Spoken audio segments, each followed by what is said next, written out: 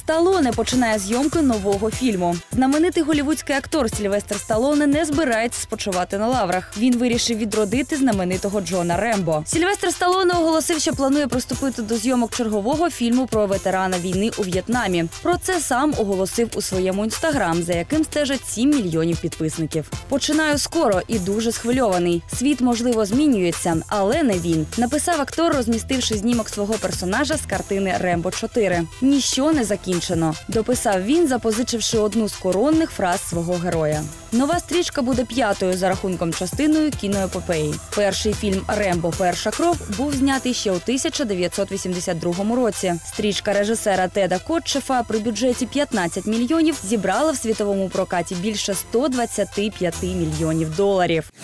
Кріс Пратт і дочка Шварценеггера Кетрін вже не приховують свою закоханість. Їхнє знайомство почалося ще в червні. Протягом літа фотографи неодноразово заставали їх за спільним проведенням часу. Прийшов час для знайомства з родичами. Спочатку пара вирушила до Марії Шрайвер, що припадає Кетрін матір'ю. У неї вони пообідали. Потім Кріс познайомив кохану з подружжям свого брата Калі. Вони спільно провели час, відвідавши винний завод і благодійний концерт. У родині Кетрін Прата вважають чудовим хлопцем і сподіваються, що відносини їхньої дочки з ним стануть довгими. Офіційне розлучення Кріса Прата сталося в минулому році. До цього його дружиною була актриса Ан Ферріс, з якою вони були в шлюбі протягом восьми років. У них є спільний син.